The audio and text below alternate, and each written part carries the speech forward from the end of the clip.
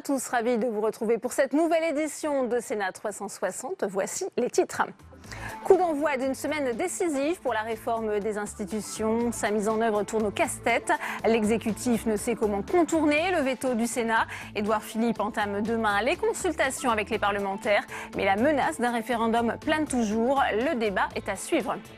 Le Big Bang de la formation professionnelle présenté par Muriel Pénicaud. La ministre du Travail a dévoilé son plan pour améliorer un système jugé complexe et inégalitaire.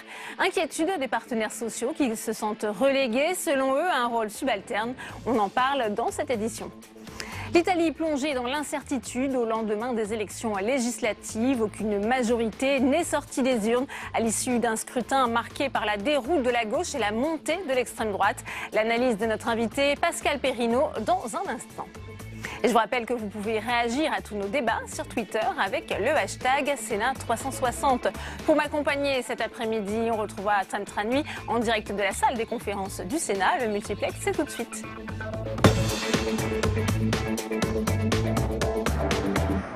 Elle avait promis un Big Bang. Muriel Pénicaud euh, souhaite modifier en profondeur la formation professionnelle. Objectif simplifier le dispositif et son financement. Syndicats et patronat y voient une reprise en main par l'État. Explication Aurélien Romano. Le gouvernement veut reprendre en main la formation professionnelle et en simplifier le financement et la gouvernance. Pour la ministre du Travail, trop d'acteurs, trop de fonds perdus.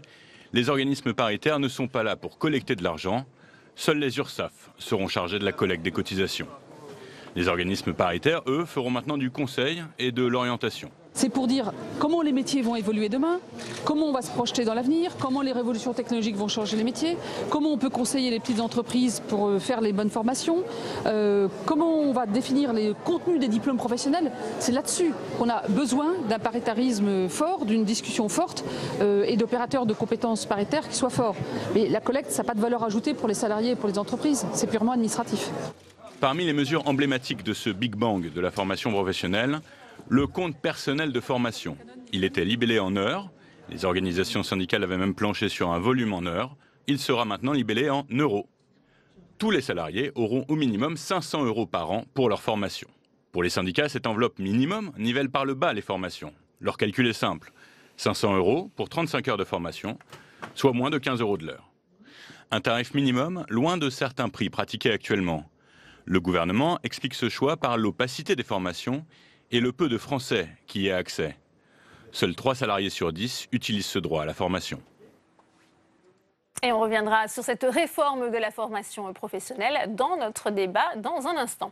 Nouvel épisode dans le feuilleton à rebondissement des voies sur berge parisiennes, alors que Anne Hidalgo, la maire de Paris, entend prendre un arrêté permanent pour maintenir piétonnes ces voies rive droite. La mesure a d'ailleurs été annulée par la justice fin février. C'est la présidente du Conseil régional d'Île-de-France, Valérie Pécresse, qui a dévoilé ce matin un projet alternatif. Clément Perrault. Anne Hidalgo contre Valérie Pécresse, Valérie Pécresse contre Anne Hidalgo. Dernier épisode, les voies sur les berges de la Seine. Le projet de piétonisation de la mairie de Paris est retoqué par le tribunal administratif le 21 février. La présidente de la région y était farouchement opposée. Pécresse 1, Hidalgo 0. Quelques jours plus tard, dans le journal du dimanche, Valérie Pécresse veut la jouer grand seigneur. Je propose à Anne Hidalgo une rencontre pour en discuter. Je souhaite qu'elle accepte la main que je lui tends depuis un an et demi et qu'on se mette autour de la table. La maire de Paris ne donne pas suite et riposte ce matin dans Libération. Sa parade, faire passer la mesure en dégainant un arrêté permanent pour lequel elle se targue du soutien d'Emmanuel Macron. Et la socialiste de se faire plaisir au passage dans les colonnes du quotidien. La droite régionale et parisienne s'est fourvoyée dans cette histoire. Elle est à l'origine du recours devant le tribunal administratif. C'est une attitude irresponsable vis-à-vis des milliers de Parisiens qui sont victimes de la pollution de l'air. Pécresse 1, Hidalgo 1. Quelques minutes après cette dernière salve, Valérie Pécresse ne manque pas de répondre à son tour, dénonçant un coup de force de sa rivale. Tout ça, ça nécessite un peu de temps, ça nécessite surtout de s'écouter les uns les autres et de respecter chaque territoire et chaque francilien. Parce qu'une décision unilatérale en matière de circulation, eh bien, ça cause beaucoup de souffrance et beaucoup de galères à des centaines de milliers de personnes. Si cette lutte fait le miel des amateurs de clash politique, son utilité est moins flagrante pour le territoire. La relation entre mairie de Paris et région Île-de-France n'a sans doute pas fini d'en pâtir. On en vient à présent à l'actualité au Sénat avec un colloque sur la situation des femmes dans les quartiers populaires et plus particulièrement euh, sur la place qu'elles occupent au sein de l'espace public. Il était organisé à l'initiative de la sénatrice Fabienne Keller. Parmi les thèmes abordés, la question des équipements sportifs, pas toujours adaptés. Écoutez ce qu'on a dit Yves Rebaud, il est géographe, professeur à l'université Bordeaux-Montaigne. Il était au micro, au micro d'Adrien Develay. Il y a un, espèce de double discours, puisqu'à la sortie de l'école, euh, on encourage la socialisation des filles et des garçons dans des espaces séparés. Hein. D'abord en, mettant euh, l'accent beaucoup euh, sur le sport dans les quartiers, hein, dans lequel on sait que les garçons s'en emparent, hein, comme ils s'emparent des terrains, comme quelque chose qui est vraiment lié à la virilité, à l'affirmation de la virilité, et dont les filles sont relativement écartées. Ce qu'on trouve dans les statistiques qui montrent que 75% des budgets publics du sport mais pas que du sport, des loisirs des jeunes en général, profite aux garçons. Hein. Et puis également, euh, cet aspect-là bien invite à faire un travail de, euh, justice, hein, de justice face à l'impôt, c'est-à-dire de faire des budgets genrés, c'est-à-dire de mesurer euh, les moyens qui sont donnés aux filles et aux garçons. Et pour le rattrapage, eh bien, il y a deux solutions, soit la mixité filles-garçons, soit effectivement eh bien, avoir des espaces non mixtes féminins dans les pratiques sportives et culturelles. Et on va retrouver euh, Tam Tranui avec euh, Fabienne Keller, sénatrice LR du Bas-Rhin, qui est à l'initiative de ce colloque. Euh, Fabienne Keller, vous étiez ce matin à l'origine d'un colloque sur la place des femmes dans l'espace public, surtout les femmes dans les quartiers. Et ce qu'il ressort de ce colloque, c'est que les espaces publics eh ne sont pas du tout pensés pour les femmes. Et oui, très souvent les concepteurs euh, sont des hommes, et puis les personnes qui y restent sont les hommes aussi, alors qu'un chercheur nous a démontré que les femmes y passent, mais pour des raisons euh, utilitaires, parce qu'elles vont amener les enfants à l'école ou faire des courses. Alors le problème, c'est que eh bien, ni les équipements sportifs, ni l'éclairage public, ni les transports ne sont adaptés aux femmes. Euh, quel est le problème et comment y répondre? Alors, ils sont adaptés, mais ils sont, par exemple, les clubs sportifs très majoritairement utilisés euh, par les hommes. Et on a une présentation sur l'usage du vélo le dimanche après-midi. C'est très genré, c'est-à-dire que c'est les hommes sont beaucoup plus nombreux que les femmes. Euh, par contre, les transports en commun sont majoritairement utilisés par les femmes, alors même qu'ils sont conçus, euh, pour imaginés des hommes. Et qui restent des milieux souvent hostiles pour les femmes. Hein, on l'a vu avec tous les problèmes de harcèlement dans les transports publics, par exemple. Tout à fait. Donc l'idée, c'est peut-être de euh, prendre conscience que le mode de transport, c'est un lieu de vie et pas seulement un mode de transport utilitaire. Alors comment changer cette situation? Est-ce que les villes doivent travailler autrement? On a vu un certain nombre d'expérimentations entre des implantations d'agrès, des jardins euh, partagés, euh, l'encouragement à l'utilisation du vélo pour tous. Alors l'idée, oui, c'est vraiment de, que cette préoccupation d'équilibre, de diversité, de mixité soit présente dans l'action euh, publique. Patrick Brauzek, qui était là, nous disait par exemple les agents qui s'occupent de l'espace public, qui sont très majoritairement des hommes. Il faudrait réfléchir à ce qui aussi beaucoup de femmes, qu'elles apportent leur, euh, leur approche spécifique. Et puis plus globalement, que cette question du genre soit euh, prise en compte dans les politiques publiques. Est-ce que c'est aujourd'hui suffisamment le cas? On sait que, eh bien, il y a déjà euh, ces travaux qui sont réellement quantifiés sur ce sujet. Et puis, il y avait eu, bien sûr, les médias hein, qui s'étaient beaucoup préoccupés de cette situation, notamment avec l'histoire de ce café à Sevran, par exemple. Oui, alors il y a les constats qui sont faits.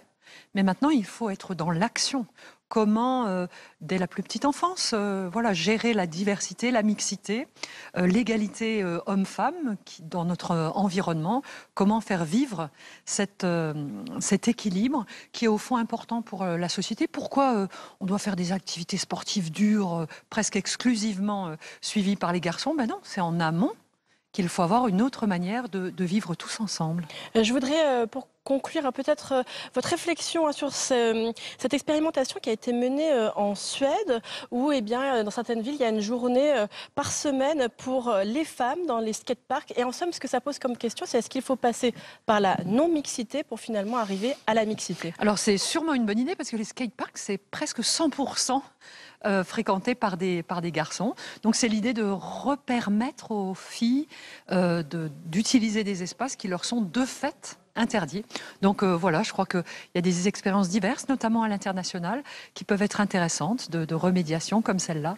Et euh, voilà, à la veille du 8 mars, une bonne, euh, une bonne piste, des réflexions qui sont importantes pour que les femmes dans les quartiers fragiles, qui sont souvent en grande difficulté, puissent se sentir pleinement chez elles, dans leur quartier, dans leur ville et, dans la République. Eh merci beaucoup Fabienne Keller. Hein, la preuve encore une fois que la cause des femmes passe par des préoccupations et des sujets extrêmement concrets. Merci à vous, euh, Tam, pour cette première euh, réaction. On en vient à présent à notre grand débat consacré à la réforme institutionnelle. Le Sénat, dont vous le savez, le rôle sera essentiel dans l'aboutissement de ce vaste chantier voulu par Emmanuel Macron, s'empare cette semaine du sujet. Le groupe communiste organise aujourd'hui un colloque sur ce thème, alors que le groupe de travail élargi se réunira demain en présence de Nicolas Sarkozy. Il faut dire que le gouvernement n'écarte pas l'hypothèse d'un référendum pour le Sénat, Audrey. C'est une sorte de bras de fer qui se met doucement en place entre Emmanuel Macron et le Sénat. Le chef de l'État a des idées bien arrêtées pour réformer les institutions. Réduction du nombre de parlementaires, un peu de proportionnel aux élections législatives et pas plus de trois mandats successifs, notamment pour les sénateurs. Mais là, c'en est trop, la ligne rouge est dépassée. Depuis quelques semaines, Gérard Larcher menace. À cause de ce point, le Sénat pourrait bloquer l'ensemble de la réforme. En réponse, l'Élysée évoque avec de plus en plus d'insistance l'option d'un référendum, le premier depuis 2005. En s'adressant au peuple, plus besoin du vote des sénateurs, mais Roger Carucci n'est pas convaincu. Un référendum, on le sait bien, il ne faut le faire que si on est sûr de le gagner. Entre la hausse de la CSG, la réforme de la SNCF, la réforme du travail et d'autres réformes à venir, est-ce que le président de la République sera dans une situation de popularité suffisante pour être sûr de gagner? Je ne sais pas. Selon lui, ce n'est qu'une manœuvre, un coup de poker de l'Élysée pour peser sur les négociations avec le Parlement. Mais entre les ordonnances et les menaces de référendum, un sentiment de défiance se développe. Depuis bientôt euh, un an, il y a un vrai euh, problème dans la conduite de l'action publique par rapport aux corps intermédiaires. Oui, il y a un problème d'équilibre des pouvoirs dans la Ve République euh, en général, et cela est encore renforcé aujourd'hui avec une Assemblée nationale qui est souvent très godillot, qui l'est en tout cas ces derniers mois, et un Sénat qui est euh, insuffisamment pris en compte. Déjà des points de crispation, pourtant ce n'est qu'à partir de demain que le Premier ministre présentera les grandes lignes d'une réforme déjà polémique au président des groupes parlementaires. Et sur cette question, on retrouve Tam Tranui avec la sénatrice socialiste du Val-de-Marne, Sophie Taillé-Polian. Oui, je suis avec euh, Sophie Taillé-Polion qui participe euh, cet après-midi euh, au séminaire organisé par le groupe CRCE. Il y a également l'initiative du groupe socialiste jeudi. Mais entre ces deux initiatives, est-ce qu'il y a la volonté de montrer que la gauche a réellement sa voix sur la révision constitutionnelle? La gauche a certainement sa voix sur la révision constitutionnelle. Après, euh, la, réunion organisée cet après-midi, c'est un, c'est un colloque, donc c'est ouvert, c'est une réflexion, euh, je dirais, euh, qui, s'adresse à, la société civile avec des chercheurs, etc. jeudi, nous avons notre séminaire du groupe socialiste et républicain où il s'agit d'une réflexion interne, pilotée notamment autour de Patrick Caner par Éric Kirouche et Jean-Pierre Sueur. Et donc, il s'agit pour nous vraiment de, de travailler entre nous, entre sénateurs socialistes pour faire des propositions euh, face à une situation où la démocratie est, dégradée. Oui, c'est ce que vous, vous estimez aujourd'hui avec la révision constitutionnelle dont on entend bien les premières euh, pistes du côté euh, du gouvernement? La situation est dégradée d'un point de vue institutionnel? La situation démocratique de notre pays est dégradée, avec 51,3, je crois, euh, d'abstention euh, au premier tour de l'élection législative et 57, plus de 57 au deuxième tour. On ne peut pas dire que la démocratie française euh, aille très bien. Je crois que c'est clair. la révision constitutionnelle est-elle à même de répondre à ces problèmes-là? C'est une opportunité pour améliorer les choses. Cela dit, euh, quand on, voit que ce qui est mis en avant, c'est une réduction du nombre de parlementaires, je ne suis pas sûre que c'est ça qui, qui, je dirais, qui vraiment répondent au problème. Euh, non cumul des mandats dans le temps. Oui, il faudrait augmenter la représentativité euh, des, des, élus et notamment des parlementaires. Je ne suis pas sûre qu'en baisser le nombre garantisse d'en augmenter la représentativité. Rien ne permet de le penser. une question un peu politique, puisque la majorité sénatoriale, elle organise également euh, son séminaire demain, notamment en présence de Nicolas Sarkozy. Est-ce que c'est une façon euh, d'être à l'offensive pour la majorité sénatoriale alors qu'on sait que les relations sont très tendues avec l'exécutif sur ce sujet? Écoutez, euh, c'est une façon certainement pour eux d'exprimer euh, d'exprimer leur voix. Je dirais que dans le cadre d'une révision des institutions, chaque parti doit et chaque formation politique euh, doit faire des propositions. Ça me semble essentiel. après, on connaît le blocage des, sénateurs républicains, notamment sur le non-cumul des mandats dans le temps, que nous, nous, sommes favorables au non-cumul dans le temps. Nous pensons que pour favoriser la représentativité des élus, eh bien permettre une plus grande rotation, grand turnover. C'est bien, c'est bien. Euh, est-ce que euh, si euh, la majorité sénatoriale reste accrochée à ces différentes lignes rouges hein, qu'a exposé Gérard Larcher, on court le risque d'avoir un Sénat dont l'image est dégradée auprès de l'opinion?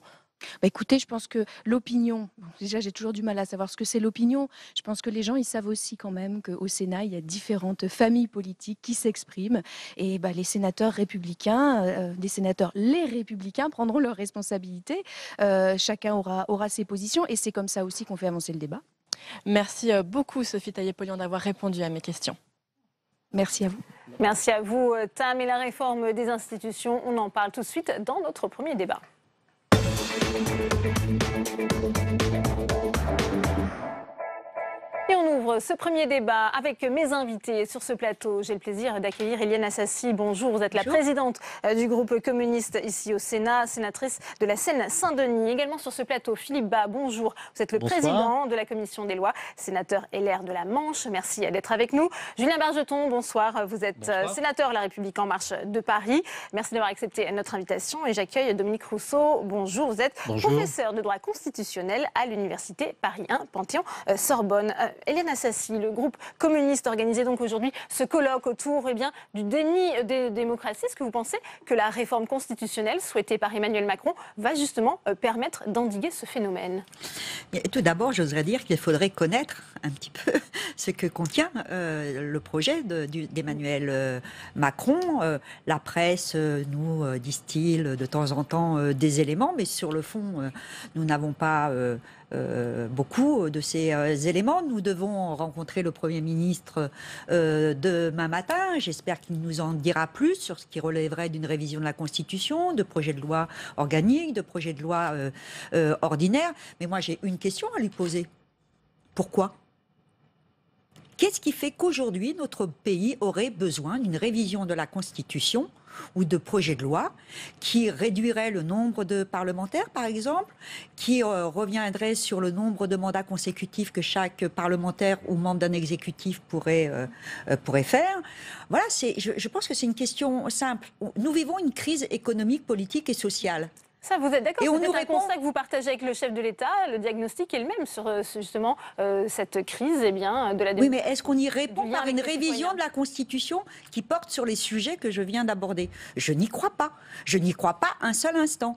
Le président de la République et son gouvernement aujourd'hui surfent sur euh, un mécontentement euh, populaire qui est tout à fait légitime, puisque nos concitoyennes et nos concitoyens sont mécontents des politiques qui n'ont pas été mises en œuvre durant euh, ces deux derniers quinquennats particulièrement, et ils surfent sur ce mécontentement pour proposer cette révision de la Constitution dont les parlementaires que nous sommes ne connaissent pas grand-chose. Nous avons beaucoup travaillé ici au Sénat avec le président Larcher, le président Bas était membre de ce groupe de travail ainsi que moi-même. Euh, nous avons travaillé sur un certain nombre de sujets, mais nous ne savons pas encore à ce jour sur quoi va vraiment porter avant cette de révision. Peut-être justement comment on met en musique cette réforme constitutionnelle, à quoi elle va servir euh, Julien Bargeton, Eliana Sassi euh, s'étonne encore de son objectif. Moi, je suis surpris qu'on puisse s'étonner de cette réforme, puisqu'elle avait été annoncée par le président de la République lors de la campagne et il la met en œuvre. Quoi de plus naturel? Là, l'élection d'Emmanuel Macron a constitué une rupture par rapport au système politique. Il ne faut pas sous-estimer euh, ce qu'a représenté euh, finalement ce bouleversement qui a été euh, l'avènement d'une nouvelle formation politique et avec un président de la République qui a été élu dans, dans un contexte très particulier. Or, ces propositions sur la révision constitutionnelle faisaient partie de son analyse et de son diagnostic sur la crise du système politique français. On sait ce qu'il y a dans cette révision, la réduction du nombre de parlementaires, l'introduction d'une dose de proportionnel notamment pour euh, les députés, et puis le cumul dans le temps. Face au conservatisme que je vois bien, il faut euh, agir et appliquer les engagements euh, du président de la République dans ce domaine, Bah, il faut comme les le autres. pouvoir d'achat Et il faut- de- des gens. Et il faut. Non, mais vous savez, je, je, je crois pas. qu'ils attendent aujourd'hui. Non, mais il faut pas C'est pas verser. Il faut pas verser dans le tout Quand vous- économique. quand vous parlez les institutions, la culture, c'est important vous aussi. parlez de qui? On agit sur tous les plans en même temps à la fois, et vous avez bien vu qu'il y a beaucoup de projets économiques et sociaux qui sont menés, mais pour autant, dans la crise de l'identité politique que traverse aussi l'Europe, les révisions constitutionnelles sont importantes. Et je pense que c'est un des éléments pour redonner de la confiance. On voit qu'il y a une forme de défiance, notamment vis-à-vis des jeunes qui participent moins aux euh, échéances électorales. Eh bien, l'un de ces éléments, c'est évidemment de donner une nouvelle respiration à la démocratie. Tel est l'objectif. Faire respirer différemment notre Rousseau et démocratie. ensuite Philippe Bas. Oui. Est-ce qu'il y a, sinon une crise, en tous les cas, un dysfonctionnement de la démocratie représentative? Je crois que tout le monde est d'accord. La réponse est oui. Est-ce qu'une révision de la Constitution permettra de résorber cette crise? La réponse est non. Mais est-ce que la révision peut contribuer à? La réponse est oui. Voilà, c'est clair. dépend Oui, ça dépend à laquelle. Alors, Oui. ça dépend laquelle, mais justement, ce Peut-être pas une connaît. révision de la Constitution, mais une révision des, Des institutions. Des assi- mais Voilà. alors, ce ce- ce qu'on ce qu'on connaît, parce qu'il ne faut pas exagérer quand même, le président de la République a annoncé le 3 juillet euh, 2017 Mm. devant le Congrès quelles étaient les grandes lignes, c'est-à-dire, pour ce qui concerne la Constitution, la réforme du Conseil supérieur de la magistrature pour rendre la nomination notamment des magistrats du parquet semblable à celle des magistrats du, du siège, la réforme, la suppression du Conseil euh, du- du- de la Cour de justice de la De la République, la suppression des membres de droit au Conseil euh, constitutionnel, l'introduction de la Corse dans la Constitution, la, la possibilité de donner aux collectivités locales d'un droit à l'expérimentation et à la différenciation. Tout ça, c'est connu. Et ça, ça relève de la révision de la Constitution. Après, vous avez ce dont vous avez parlé, c'est-à-dire la réduction du nombre euh, de, de parlementaires, la réduction dans le temps euh, de- du nombre de, de mandats. Tout ça, ça ne relève pas de la révision de la Constitution. Ça relève d'une loi organique. Quant à l'introduction d'une dose de proportionnelle, là même, ça relève d'une loi ordinaire. Donc ne confondons pas tout, et je pense qu'on y reviendra, parce qu'il y a des choses très importantes quant aux procédures. Loi constitutionnelle, loi organique, loi ordinaire. Philippe, bah, on voit bien que le gouvernement s'achemine à une division en trois textes, ça a été rappelé, constitutionnel, organique, ordinaire. Est-ce que cette réforme, finalement, à la découpe, vous la- vous l'approuvez? Ah, mais Nous savions depuis le début qu'il faudrait plusieurs textes, comme le professeur Rousseau vient de l'indiquer. Non, pour moi, le, le problème, c'est la philosophie qui inspire cette révision constitutionnelle. Au fond, les questions essentielles sont celles dont on ne parle pas et les questions secondaires monopolisent l'attention. Les questions essentielles, vous les avez citées. Les questions secondaires, c'est le nombre de parlementaires. Euh, plus ou moins de parlementaires ne change rien à l'affaire. Euh, L'important, c'est ce que fait le Parlement, le service qu'il rend au pays, et la manière dont les parlementaires sont liés aux citoyens pour que, au fond, ils soient vraiment représentatifs au veut dire lieu que de vous ne seriez représenter favorable à une réduction du nombre de parlementaires, Alors, Philippe Bas? Euh, nous n'avons euh, émis aucune oppo- opposition sur le principe d'une réduction du nombre, mais nous avons précisé que par ça ne que changerait rien, que ça ne changerait rien à l'affaire. Je vous parle de la philosophie de la réforme. Au fond, je ne suis pas d'accord avec mon voisin. Nous ne sommes pas dans un nouveau système qui aurait mis à bas l'ancien système. Nous sommes dans les institutions de la Ve République hystérisées. Un président tout-puissant, un gouvernement qui lui est subordonné, une Assemblée nationale déférente. Il n'y a qu'un seul lieu qui ne relève pas des pouvoirs alignés, c'est le Sénat, euh, où euh, on peut encore débattre démocratiquement avec un effet sur les lois. Puisque euh, dans les trois quarts des cas, le Sénat vote la loi et les trois quarts de ces amendements sont retenus dans la loi finale. C'est le lieu du débat démocratique. Si l'idéal du président de la République, c'est moins de députés et de sénateurs pour légiférer plus vite, parce que c'est toujours du temps perdu que de passer devant le Parlement, alors je ne partage pas cet idéal. Mon idéal, c'est celui d'un Parlement qui prend le temps de la qualité de la loi, de la qualité de la délibération. Euh, Et je dois dire que euh, nous sommes en train de prendre un mauvais chemin. Je ne pense pas tout de même que le pouvoir exécutif veut essayer de mener le Parlement en quelque sorte à la schlag. Révision constitutionnelle à la schlag, révision de la procédure parlementaire pour que la loi soit votée plus vite, qu'on ait plus à discuter Je vous si si longtemps bien, qu'aujourd'hui. Bas. Ceci n'est pas démocratique. Le pays se réveillerait un jour sans contre-pouvoir, sans corps intermédiaire, sans lieu de débat démocratique, comme si, une fois que le président de la République avait décidé, tout était fait. avant et qu'il n'y avait plus, Nicolas- il Nicolas n'y avait plus Nicolas nécessité, Sarkozy a nécessité été d'y élu- revenir. Nicolas Sarkozy a été élu en mai 2007. Il a immédiatement après son élection entamé une révision de la Constitution Qui en a juillet. renforcé de- les de- pouvoirs du Alors- Parlement. alors, et c'est bien une philosophie. et qui a surtout renforcé, qui a surtout renversé le- la primauté la présidentielle. exactement. Ah non, pas du Oui. tout. Au contraire que le Parlement, des textes en commission, avec, des moyens de contrôle, c'est très important. Mais en même temps, s'il vous plaît, peut-être, avant euh, de poursuivre ce débat, on va réécouter Gérard Larcher, puisque lui, le président du Sénat, il a fixé euh, des lignes rouges. C'était lors de sa conférence de presse le 24 janvier dernier. On l'écoute. Je fais confiance. Je fais confiance à la fois à la capacité de dialogue des parlementaires des deux assemblées et euh, au dialogue avec l'exécutif. Je fais même ce pari-là. J'ai plutôt envie qu'il soit gagnant. Mais j'ai dit qu'il y avait des points. Le département, la commission mixte paritaire, sur lequel la position de notre groupe de travail, mais aussi la mienne, étaient des positions absolument formelles, parce que nous pensons que c'est notre responsabilité vis-à-vis du pays et qu'on ne résout pas une crise de confiance par un coup politique. Donc, voilà. Et je vous rappelle que le président peut toujours utiliser l'article 89. Pas la peine de se donner des faux frissons.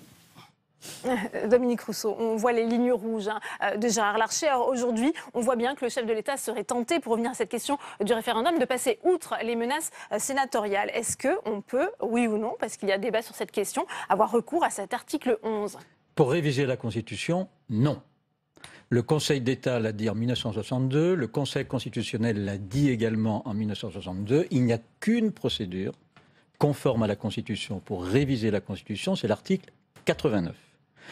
Toute autre procédure serait contraire à la Constitution et le Conseil constitutionnel, comme il l'a fait en 1962, aurait euh, l'occasion de se prononcer publiquement sur l'inconstitutionnalité de cette voie. En revanche, pour la réduction du nombre de parlementaires et pour euh, la réduction dans le temps du nombre de parlementaires, là c'est une loi organique et là on peut faire un référendum par l'article 11 directement sans passer par le vote de l'Assemblée nationale et du Sénat. C'est pour ça qu'il est important de distinguer ce qui relève de la Constitution et ce qui relève de la loi organique. Puis-je exprimer un désaccord juridique Les lois organiques doivent obligatoirement être examinées par le Conseil constitutionnel. Comme le Conseil constitutionnel n'examine pas une loi référendaire, il en a décidé ainsi en 1962, on ne peut pas faire de référendum sur une loi organique. Je crois que euh, le régime de la loi organique est parfaitement clair et par conséquent, ça n'est pas possible non plus. En tous les cas, reconnaissez qu'il y aurait au moins un débat juridique délicat sur ce point. Mais de toute façon, au fond, le président de la République met ses idées sur la table. Si c'est un démocrate, nous en discuterons avec lui. Beaucoup de ces idées sont des idées que nous approuvons. C'est le cas pour tout ce qui concerne la nomination des procureurs. Nous l'avons même déjà voté ici au Sénat. C'est le cas pour la présence des anciens présidents de la République au Conseil constitutionnel. C'est le cas pour la suppression euh, de la Cour de justice de la République. Ce peut être le cas pour un certain nombre d'autres Sur ces points, Eliane Assassi, vous seriez prêt à- prête à justement soutenir euh, l'exécutif sur ces points qui font partie de la révision constitutionnelle? Sur le- les sujets que vient d'évoquer le président Bas, oui, bien évidemment, la réforme du euh, CSM, sur la suppression de la Cour de justice, etc., nous sommes favorables et nous l'avons dit en d'autres temps, notamment quand nous avons euh, abordé ici euh, le- le- la, réforme du, euh, du- du CSM. Mais je, je- je- bien sûr, ce sont des sujets importants. mon propos n'est pas ici de les minorer. Mais re- revenons à ce qui fait débat aujourd'hui dans toute la classe politique. Ce sont les deux sujets qu'on évoque, donc la réduction du nombre de parlementaires et la diminution dans le, dans le temps du nombre de mandats euh, possibles. C'est ça qui fait, qui fait débat et qui effectivement ne relèverait pas de, euh, d'une révision de la Constitution, mais de projets de loi organiques pour les deux euh, sujets, si euh, j'ai, bien compris. Donc est-ce que nos concitoyennes et nos concitoyens, puisque là il s'agit bien d'évoquer le devenir de ceux qui sont, celles et ceux qui sont censés les représenter, est-ce que nos concitoyens vont être investis d'une euh, de- d'une- d'une, euh, d'une possibilité de débattre de ces euh, sujets en sortant de ce climat un peu euh, populiste sur lequel, je le redis, un peu, un peu tout le monde surfe aujourd'hui. Est-ce qu'on a- est-ce que le président de la République et le Premier ministre accepteraient l'idée d'un débat populaire? Pas forcément qui aboutirait à un référendum, mais au moins d'un débat populaire, c'est-à-dire que nos concitoyennes et nos concitoyens puissent en discuter, parce qu'in vous fine, c'est in fine, le Parlement ne travaille pas sous la menace. de In fine, c'est quand même de d'eux dont il s'agit, puisque nous sommes censés les représenter. Donc c'est de eux dont il s'agit. Donc allons les voir, rencontrons-les, débattons-les. Non mais Oui. moi je vois, je voudrais vous- je vois vous- qu'on fixe des lignes rouges, qu'on fixe rouges, des menaces, des refus. La démocratie des n'est pas refus. une ligne Il faut rouge. se retourner vers les citoyens. Nos citoyens attendent un autre fonctionnement du Parlement. On a bien dit qu'il y a plusieurs textes, mais c'est un ensemble. On ne peut pas séparer les choses. Il y a à la fois ce qui relève de la Constitution, de la loi organique et de la loi ordinaire. Mais cette réforme est une réforme qui est pensée dans un ensemble. Moi, je ne partage pas la caricature qui est faite de l'Assemblée nationale. J'ai vu des textes de loi arriver au Sénat avec un travail important euh, de l'Assemblée nationale. Je pense par exemple au droit à l'erreur que nous allons examiner au Sénat et qui a été travaillé en amont par l'Assemblée nationale et notamment par Stanislas Guérini qui a fait un travail remarquable d'amendement. Donc je crois que ce qu'il faut, c'est un nouveau Parlement. Un Sénat bien sûr différent de l'Assemblée nationale, mais moins de sénateurs ou moins de députés, ça ne veut pas dire moins de pouvoir, ça veut dire aussi y compris plus de pouvoir de contrôle, y compris plus de moyens pour travailler, y compris plus de moyens pour quoi étudier. Et donc, ça, quoi parce que ça n'est pas forcément des économies derrière. quoi Le Parlement aura pleinement ses moyens pour Plus de contrôler. collaborateurs, c'est de collaborateurs, mais, ça ils ne sont pas élus. ça se- Ils non, ne sont pas élus. Ça, ça se regarde. Ce que je veux dire, c'est que cette- cette- cette- ce changement dans le Ça Parlement, se c'est regarde aussi pas, ça un Parlement qui travaille avec respire les de gens. façon, qui, Voilà. qui travaille de façon Le différente président de la République a annoncé. pensé, donc maintenant Non, il faut. pas du tout. si, Ça a été que vous validé dites, par c'est les ce que vous électeurs. dites. Ne parlez pas non, non, non, ça n'a pas été validé par les électeurs. Je suis désolée. Et 24 excusez-moi, Ah ce n'est pas une majorité. Bah si, c'est quand même la réalité. Philippe Bay, ensuite Dominique Rousseau. trouvez pas curieux que quand on parle de modernisation des institutions, on ne parle jamais de l'exécutif? Comme si l'exécutif n'avait pas à se moderniser Est-ce que vous trouvez bien, réellement bien, qu'un exécutif euh, euh, ne rencontre sur son chemin aucune contradiction et procède Alors, par diktat, fait des par occasion et par menace Oui. On nous parlait tout à l'heure de la menace du référendum. Mais moi, je ne crains pas le référendum. Le référendum est prévu par la Constitution. Dans le cadre de la révision de la Constitution, c'est la voie normale après le vote des deux chambres. Eh bien, euh, je suis pour que euh, nous allions au référendum, comme la Constitution le prévoit, après le vote des deux chambres. Mais la Constitution, ce sont nos libertés. C'est notre texte sacré. Et il est normal de ne pas de fixer des pouvoir. lignes rouges. Il est normal de ne pas pouvoir réviser comme ça d'un claquement de doigts une constitution et qu'elle donne lieu à un grand débat démocratique. Parce que Dominique il y a Rousseau. eu, depuis 1958, il y a eu 24 révisions de la Constitution. Sur ces 24 révisions de la Constitution, 22 ont été faites par l'article 89, c'est-à-dire l'association de l'exécutif, du Parlement et, pour certains cas, par exemple en, en 2000 pour le, le quinquennat, le référendum. On a fait l'article 11, on- enfin le général de Gaulle a fait l'article 11 en 62 et en 69. Je maintiens que euh, on ne peut pas réviser, que c'est contraire à la Constitution de la réviser par la voie de l'article 11. Il faut passer par la voie de l'article 89 pour tous les objets constitutionnels. La question ensuite est de savoir quelle est, pour reprendre votre expression, la, philosophie. Depuis 1958, les 24 révisions de la Constitution ont eu pour objet soit de préserver, soit de consolider, soit de renforcer la primauté euh, présidentielle. Bon, c'est un fait maintenant que les électeurs élisent le président de la République et attendent du président de la République qu'il gouverne.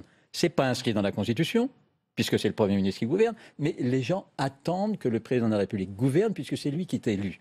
Par conséquent, il faut une révision de la Constitution qui construise un statut pour l'opposition et qui fasse émerger des institutions permettant de contrebalancer la toute-puissance, non pas du président de la République, mais de l'exécutif. D'où l'introduction d'une proportionnelle, d'où des députés moins nombreux mais plus efficaces, d'où le renouvellement de la classe politique par le fait de la limitation dans le temps du nombre de mandats et qui ne prendrait effet qu'à partir de 2022 et les compteurs seraient mis à zéro. C'est-à-dire la, la personne qui serait élue en 2022 pourrait faire trois mandats. Identique. Identique. Et ça n'empêche pas, par exemple, un député de faire trois mandats et ensuite de devenir sénateur ou maire, Sauf etc. pour les maires de Donc, il ne faut pas, puisque vous 3500 avez parlé d'hystériser, il ne faut pas hystériser cette question. Je veux dire, c'est simplement limiter dans le temps trois mandats identiques, mais après trois mandats identiques, un député peut se présenter au, au- au sénatorial. Donc il n'y a, rien d'extraordinaire, il y a simplement une respiration qu'on propose d'introduire. Et je suis désolé, mais quand on fait un peu de droit comparé, c'est une banalité à l'étranger. Et, et nous, ce qui est terrible en France, c'est qu'il faut faire une loi pour arriver à ce qui est évident, banal et de bon sens euh, dans tous les autres pays Je vous européens. signale quand même, vous avez vu en juin dernier, la plupart des députés sont nouveaux. Quant aux sénateurs, 62% d'entre eux sont nouveaux. Et euh, ceux qui, dans notre histoire, ont plus de trois mandats, ça n'existe pratiquement pas. Donc, vous avez exactement décrit les raisons pour lesquelles ça n'a strictement aucune importance de poser ça en règle, puisque Mais de toute on peut façon, faire l'inverse. On cette peut faire règle est l'inverse. déjà respectée. On peut faire l'inverse, puisque Oui, c'est dans les faits, mettons-le dans le mais droit. ça ne sert à rien, on ne va pas Ah, perdre son si, temps si. à écrire ce qui est déjà le cas. Je voudrais vous faire pardon. Si vous voulez, Heureusement, vous voulez c'est de la gesticulation, ça n'est pas un changement profond de nos institutions politiques, ça ne changera rien à rien. Ah non, Comme mais- le dit justement Madame Assassi, ça ne changera en tout cas rien au problème de chômage et de pouvoir Philippe je des voudrais, Français. je voudrais vous faire réagir à ces, à propos. Le sujet pour les gens aujourd'hui, C'est pas la révision constitutionnelle. Oui, Et bah, vous avez traité les retraités avec la hausse de la CSG, bien sûr. Eliane Assassi, je voudrais vous faire réagir à ces propos que l'on prête à l'entourage d'Emmanuel Macron. C'était hier dans le JDD. Le Sénat devra décider s'il veut parler à l'opinion ou s'il veut parler aux sénateurs. Que voulez-vous que je vous dise sur cette... Le Sénat a toujours voulu parler à nos concitoyennes et à nos concitoyens. Et le Sénat se parle aussi. Donc euh, les deux. Les deux. Ouais. En même temps. pas figé sur En même temps, en même temps, comme dirait l'autre. le Sénat, c'est aussi euh, la chambre du temps long, c'est la chambre qui doit travailler sur l'évaluation, sur euh, le, le- le résultat des textes. On vote beaucoup de textes, contrôlons davantage. Je pense que cette révision constitutionnelle est aussi l'occasion de réfléchir au travail parlementaire en amplifiant le rôle de contrôle de l'exécutif. C'est vrai qu'il n'est pas assez mené en France, mais nous aurons aussi cette réflexion à mener et nous le faisons déjà. Je crois que c'est très important de se dire qu'il faut certes des parlementaires, mais il faut aussi des parlementaires qui se saisissent des moyens qui sont euh, leur euh, Le Sénat, c'est aujourd'hui le seul pouvoir non aligné dans la République. Il y a une unité, un lien euh, mécanique entre le président de la République, le gouvernement, la majorité parlementaire, pas être écrasant. une force de résistance Et conservatrice. par conséquent, le Sénat est le seul lieu où le débat peut se faire et se nouer. C'est un lieu précieux, c'est un contre-pouvoir, mais toujours constructif, car il n'aime pas être évincé du processus législatif, donc il participe. Et ce contre-pouvoir est aussi en lien profond avec les territoires. Les sénateurs euh, ne représentent pas qu'eux-mêmes, ils représentent les élus des Français qui les ont choisis, qui sont aux responsabilités dans leur commune, qui sont pragmatiques et responsables. Et par conséquent, cet ancrage dans les territoires donne une légitimité particulière tout à au. Sénat, Ce dans la la République, de qui convient de respecter. Le micro sommet, est-ce qu'il y a une tentation de la part de l'exécutif de un peu stigmatiser euh, le Sénat comme responsable justement du blocage institutionnel Oui, mais parce que euh, je- j'entends bien la, la- la défense et illustration du Sénat. D'ailleurs, ce qui est amusant, c'est défendu à la fois par une sénatrice communiste et par Ah une oui, sénatrice Mais- LR. et par un sénateur en marche, je l'ai entendu aussi. Donc, ça, ça, ça, ce n'est pas étonnant que tous les sénateurs défendent de l'institu- l'institution euh, euh, sé- sénatoriale. Le Sénat est important dans son rôle, effectivement, de, représenta- de représentation des territoires. La question après est de savoir quel territoire. Est-ce qu'il est qu'il représente euh, les territoires dynamiques dans leur dimension euh, culturelle, économique, sociale, politique?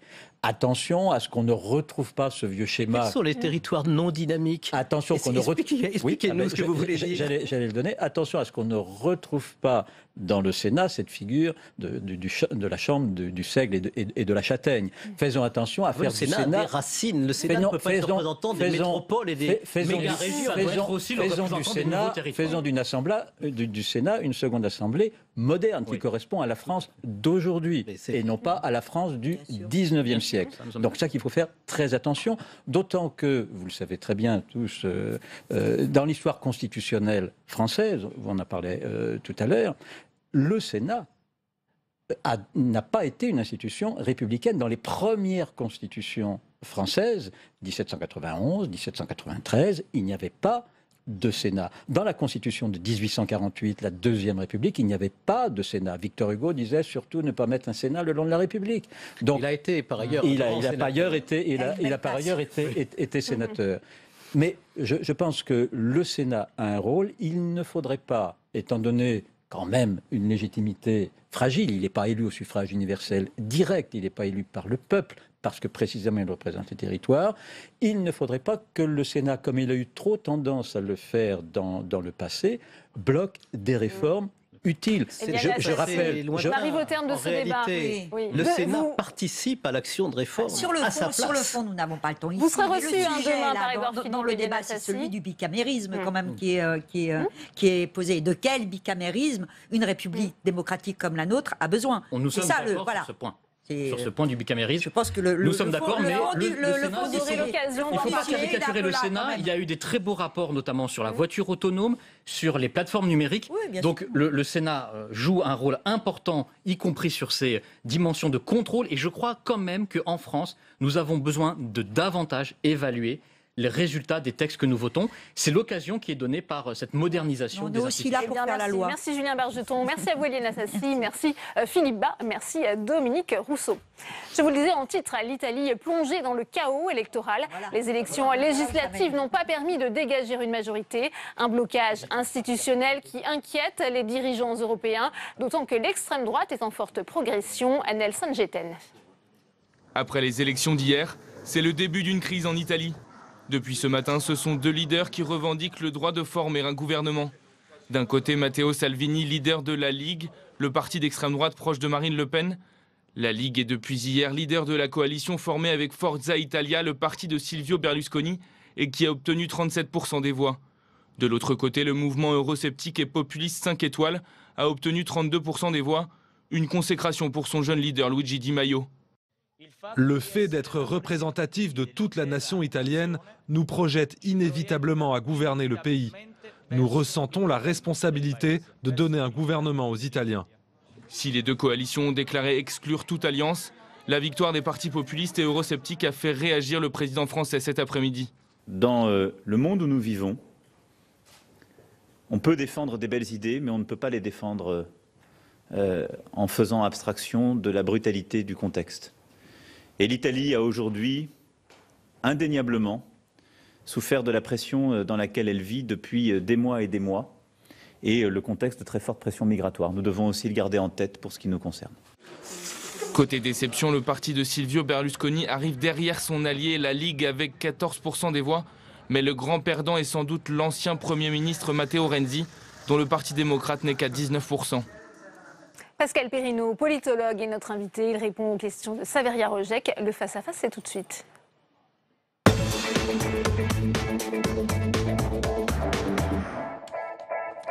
Bonjour Pascal Perrineau. Bonjour. Alors, une percée historique hein, des forces euh, anti-système eurosceptiques d'extrême droite qui plongent le pays bien sûr dans l'incertitude euh, politique. Marine Le Pen a tweeté hier soir l'Europe va passer une mauvaise soirée. Emmanuel Macron, on l'a vu tout à l'heure, hein, a lui mis en avant le contexte de forte pression euh, migratoire. Nous, on va tenter avec vous d'y voir un peu plus clair. Qui va gouverner l'Italie? Que va-t-il se passer maintenant? Pour l'instant, en effet, c'est le gouvernement en place qui expédie les affaires courantes et qui risque de les expédier encore pendant de nombreuses semaines. Parce qu'au fond, à l'issue de ces élections législatives, il y a eu en effet beaucoup de remue-ménage, mais personne ce soir est capable de rassembler une majorité absolue euh, de parlementaires pour le soutenir. La coalition de droite euh, est nettement en dessous de la barre des 40%, dont on dit en effet euh, que cela permettrait de dégager une majorité absolue. Le mouvement Cinque Stelle est un mouvement extrêmement important, c'est impressionnant, euh, 32% des suffrages. C'est le premier parti italien, mais il n'a pas d'alliés. Pas de majorité absolue. Et donc, toute autre combinaison alternative, pour l'instant, n'est pas possible. On va, va- il va falloir attendre la mise mise en place euh, des autorités parlementaires. À ce moment-là, le président de la République va pouvoir euh, consulter, voir s'il peut dégager ou contribuer à faire dégager des majorités. Mais pour l'instant, c'est le scepticisme qui l'emporte. Mmh. Oui, la, la, vraie question, c'est comment éviter le blocage politique du, du pays. Et ce qui est un paradoxe, hein, c'est que ce scrutin ait lieu en vertu du Rosette et C'était la nouvelle loi électorale qui était censée justement simplifier le système électoral. En effet, ça qui eh n'a pas suffi. En effet, ce mélange de proportionnel et d'un peu de majoritaire n'a pas suffi euh, à dégager de manière claire une majorité. Et puis surtout, il a propulsé au premier plan euh, un mouvement Cinque Stelle, euh, qui est un mouvement qui a toujours dit, moi, nous, je ne veux pas rentrer dans des combines, des compromis. à la limite, je ne veux pas d'alliés, même si mm. Di Maio, le nouveau mm. patron du mouvement 5 étoiles, a laissé tout de même la porte ouverte. Alors, au moment où on parle, à la fois, eh bien, ce soir, hein, l'extrême droite et le mouvement 5 étoiles de Luigi Di Maio revendiquent tous les deux la victoire et donc le droit hein, de former euh, cette coalition. Est-ce que c'est pas plutôt la droite là qui va réussir à la former puisque justement 5 étoiles ne veut pas euh, s'associer? Alors, euh, le mouvement 5 étoiles, à la fois Di Maio et également d'autres leaders, hier soir, ont dit qu'il fallait venir les voir, venir les consulter. Donc c'est peut-être pour tenter de dégager une stratégie d'alliance.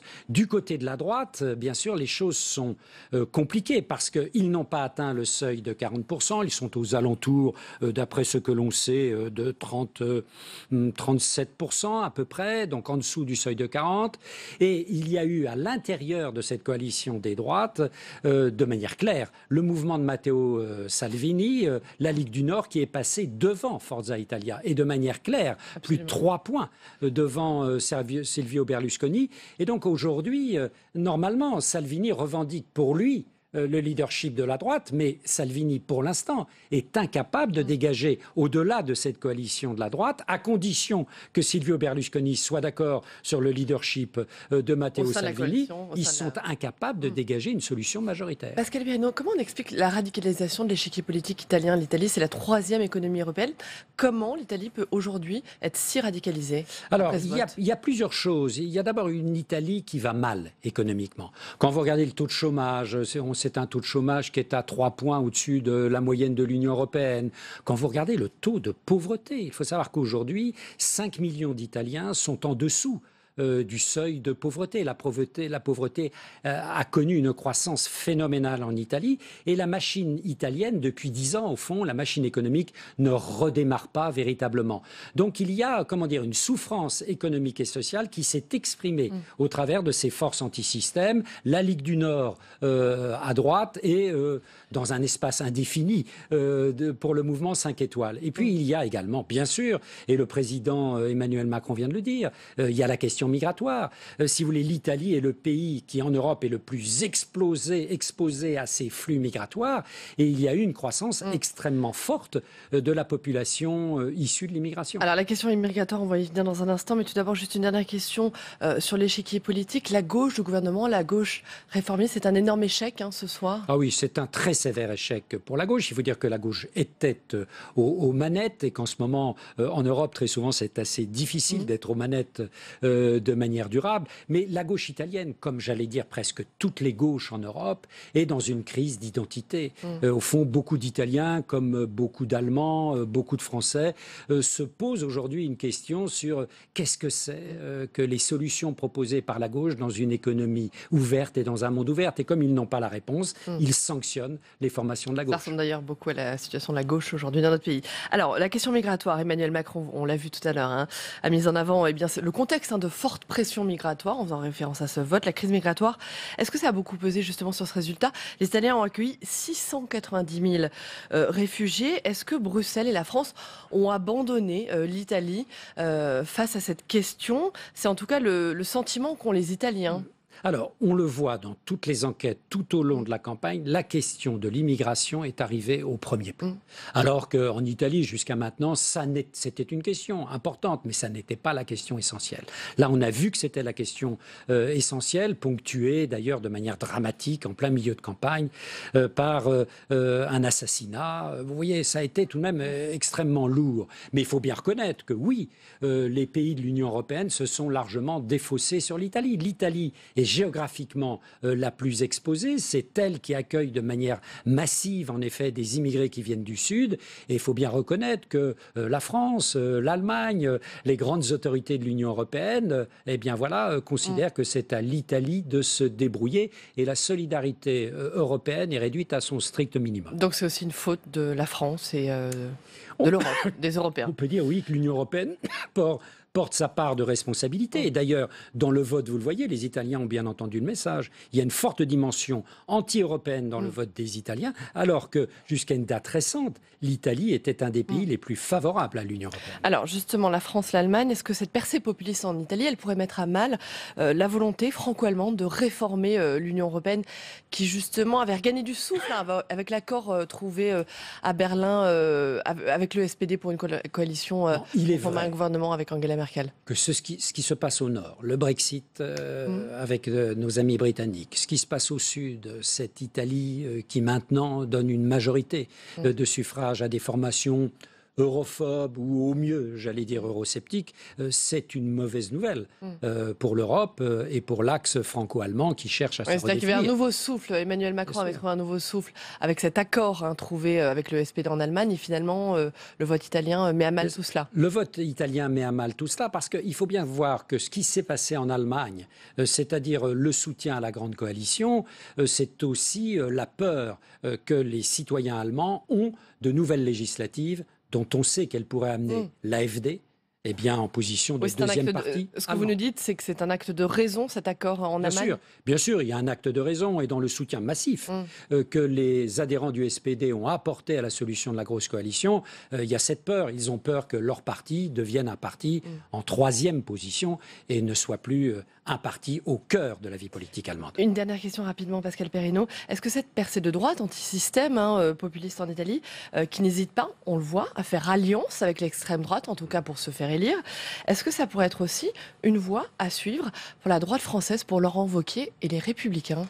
Alors, il y a certainement dans une partie euh, de la droite classique en difficulté, et les Républicains aujourd'hui sont en difficulté, une, une tentation, c'est-à-dire de s'orienter en effet vers ces formations qui expriment euh, le malaise par rapport au système, sachant que à la fin des fins, tous ces partis doivent faire très attention, parce que très souvent, qu'on soit en Italie, en France ou ailleurs, les électeurs préfèrent, comme le disait jadis le patron du Front National, l'original à la copie. Donc très souvent, ça sert davantage la dynamique de ces partis. On l'a vu en Italie, Berlusconi s'est mis à parler euh, comme Salvini. C'est Salvini qui a ramassé la mise. Il a été dépassé par Salvini. Voilà. Et c'est Forza Italia qui est le parti qui, par rapport aux dernières législatives, a perdu le plus en Italie. Plus de 7 points.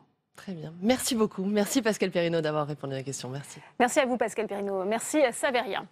Elle avait promis un Big Bang. Muriel Pénicaud a présenté ce matin sa réforme de la formation professionnelle. L'objectif, simplifier le dispositif et son financement. Syndicats et patronat y voient une reprise en main par l'État. Les explications d'Aurélien Romano le gouvernement veut reprendre en main la formation professionnelle et en simplifier le financement et la gouvernance. Pour la ministre du Travail, trop d'acteurs, trop de fonds perdus. Les organismes paritaires ne sont pas là pour collecter de l'argent.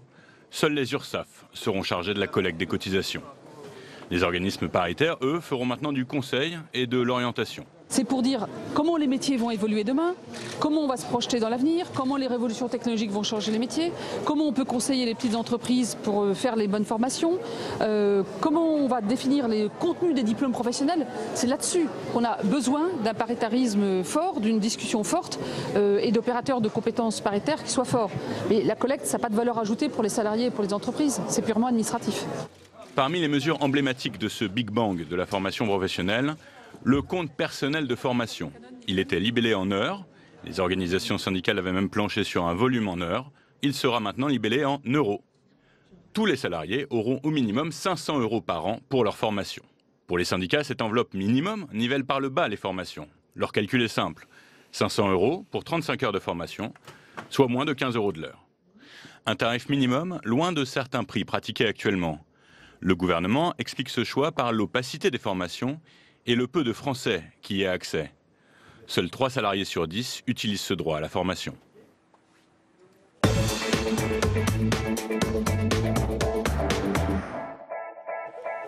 Et on ouvre le second débat de Sénat 300 avec mes Sénat 360 avec mes invités sur ce plateau. J'ai le plaisir d'accueillir Florence Poivet. Bonjour, merci d'être avec nous. Vous êtes présidente de la commission formation du MEDEF. Merci d'avoir accepté notre invitation. Fabien Gué est également avec nous. Bonjour. Bonjour. Vous êtes sénateur communiste de la Seine Saint-Denis. Merci d'être là. Et puis Martin Lévrier, bonjour. Vous êtes sénateur La République en marche des Yvelines. Bonjour. première question pour vous, Florence Poivet, sur la méthode employée par Muriel Pénicaud dans cette réforme de la formation professionnelle. On voit aujourd'hui que le MEDEF, par la voix de Pierre Gattaz, dénonce une nationalisation. Ah, c'est une nouvelle, euh, c'est une nouvelle méthode. Alors dans, dans la réforme, il y a plusieurs sujets. Je voudrais revenir très rapidement parce que ça a été une méthode particulière, celui de l'apprentissage que nous saluons très euh, très vivement. Euh, et, et la méthode, ça a été de la concertation et de la négociation. Et, euh, et nous sommes, euh, en tout cas au MEDEF, extrêmement satisfaits du résultat euh, à la fois combiné de la, de la concertation et de la négociation. Les deux, les deux combinés, c'était pas évident au départ de partir sur un double chemin. Bon, euh, il a été un petit peu chaotique à, un moment, mais enfin, on a, on, a réussi à atterrir et de façon tout à fait, tout à fait intéressante. Sur la formation professionnelle, sur le, ch- euh, le chapitre de la formation professionnelle, nous avons une lettre de cadrage qui euh, nous a proposé plusieurs sujets relativement nombreux, dans un temps relativement restreint, et nous nous sommes appliqués à réfléchir et répondre à la plupart des sujets de la lettre de cadrage. Aujourd'hui, Muriel Pénicaud fait des propositions dont certaines n'étaient pas dans la lettre de cadrage, et nous les découvrons. Donc cette, euh, c'est une méthode nouvelle, cette tradition de, euh, de dialogue en amont, de concertation en amont, n'est pas au rendez-vous. Euh, j'ose, j'ose espérer et j'ose croire qu'elle sera en, a- en aval. Et que maintenant que les choses sont mises sur la table, eh bien, nous allons nous réunir, partenaires sociaux et gouvernements, et probablement les acteurs des territoires, les régions aussi, pour construire ce que nous avons à construire ensemble. Martin Lévrier, pourquoi la concertation qui a bien fonctionné, nous dit euh, Florence euh, Poivet, euh, sur justement euh, l'assurance euh, chômage ou encore l'apprentissage, ça n'a pas marché euh, sur cette question de la formation professionnelle euh, selon euh, les partenaires sociaux? Je crois que nous n'avons pas tout à fait le même regard sur le problème. Euh, effectivement, il y avait une lettre de cadrage général, euh, ce qui n'a pas empêché une grande et forte concertation euh, entre les partenaires sociaux qui a duré très longtemps et même jusqu'au dernier moment. Et je crois que la ministre s'en est profondément félicitée. Cette concertation euh, bonjour, a, a abouti à, à un certain nombre de propositions qui ont toutes été, ou la plupart ont été retenues. Les différences se font, je ne dirais pas à la marge, parce qu'il y a une différence d'importance sur le choix euh, pour le droit à la formation renforcée de transformer le temps en euros, qui est un élément qui est important. Mais On va y venir dans un instant voilà, sur je- le je- détail de, de la mais réforme, global- mais sur la globalement, méthode. il y a eu une vraie, il y a eu une vraie, une, une vraie négociation entre les partenaires sociaux qui a été respectée par le gouvernement. Le gouvernement décide d'aller plus loin, appuie sur l'accélérateur parce que euh, vraiment, euh, je crois que les entreprises, les partenaires sociaux vont se mettre en route parce que on est reparti, euh, l'économie française est repartie. Il faut accélérer le mouvement et euh, voilà. Mais euh, il y a une vraie concertation. Alors que j'accueille Qui va Yvan, continuer. Yvan Ricordo, bonjour, merci d'être avec nous. Vous êtes secrétaire national à CFDT, justement en charge de ces dossiers d'apprentissage et de formation professionnelle. On parlait de la méthode employée par Muriel Pénicaud. Aujourd'hui, les partenaires sociaux ont le sentiment qu'il y a une reprise en main par l'État de ce dossier. C'est votre sentiment? En partie, oui. Euh, ce qui se passe, c'est que sur les mesures qui ont été présentées euh, par la ministre ce matin, les mesures concrètes, euh, elles, dépendent vraiment de l'accord qu'on a négocié. Donc il y a une reprise euh, des droits supplémentaires pour les salariés qu'on a négociés dans le futur projet de loi. Ça, c'est un point qui est intéressant. Après, euh, il y a un élément sur lequel on va revenir, c'est la transformation de l'unité de mesure du compte personnel de formation qui, de fait, a un impact sur l'ensemble des mesures. Et donc, il faut qu'on s'explique sur la façon dont ça peut déséquilibrer ou pas euh, l'accord qu'on a négocié. C'est là où le, curseur sera important. Là, il y a un premier volet qui, euh, est euh, très important pour la CFDT. Et le second, c'est que euh, c'est vrai que la- le, le gouvernement a dit on va accélérer sur euh, la formation comme sur, euh, sur l'alternance. Cela étant dit, euh, d'une façon un peu particulière, c'est on a un document d'orientation qui est le plus large qu'on ait eu sur la formation professionnelle depuis très longtemps à négocier. On coche toutes les cases, on répond à toutes les questions. Alors, il faut qu'on s'explique si c'est bien ou pas bien, mais on répond à toutes les questions. Et au, lendemain de la négociation, on vient nous dire oui, mais euh, sur la gouvernance, euh, il faut revoir les choses. Euh, dont acte, mais c'était pas dans le document d'orientation. Donc ce que dit la CFDT, c'est que maintenant, il faut un élément de discussion avec le gouvernement dans le cadre de l'élaboration du projet de loi sur ce euh, volet-là de la réforme qui est aussi important que la question des droits. Fabien Gay, c'est pourtant une méthode assumée hein, par l'exécutif. Ah, il y a des discussions, mais à la fin, il faut trancher. On est dans une logique de transformation du pays, nous dit-on. Oui, euh, la méthode euh, du président de la République, c'est on écoute, mais on n'entend rien. Et on va très vite. Il faut replacer dans le contexte pour les gens qui nous écoutent. Il a été élu par les puissances de l'argent. D'ailleurs, le MEDEF se félicite aujourd'hui euh, des différents accords qu'il y a. Tant mieux, les, masques tombent. Et on voit bien par qui il a été élu. Il prend une, maxime qu'il a repris pour lui de Denis Kessler, qui était membre du, MEDEF, qui disait en 2007 Le modèle social français que partout on nous envie dans le monde est un héritage de 1945 et un compromis entre les gaullistes et les communistes. Et maintenant, il faut mettre à bas ce modèle social. Et il faut le détricoter. Ça a commencé par Nicolas Sarkozy, approfondi par M. Hollande.